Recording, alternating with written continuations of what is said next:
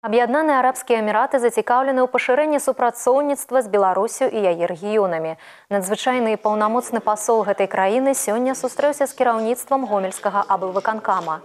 Афіцыйныя адносіны Беларусі і эміратаў пачаліся ў 1992 годзе. Гомельская вобласць свой патэнцыял дэманструе ў першую чаргу праз удзел у выставах, якія праходзяць у арабскай краіне.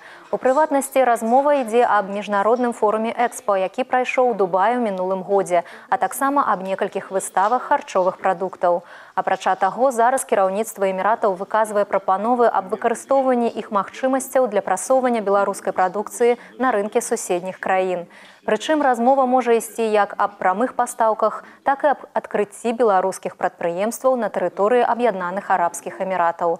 Пры гэтым партнёры зацікаўлены ў супрацоўніцтве ў такіх сферах, як інфармацыйныя тэхналогіі, адукацыя, харчовая бяспека.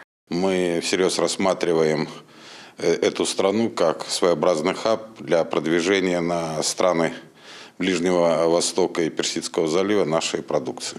У нас все для этого есть. У нас производятся высококачественные продукты, которые аттестованы по системе халяль, что весьма ценится для, э, на, на этом рынке.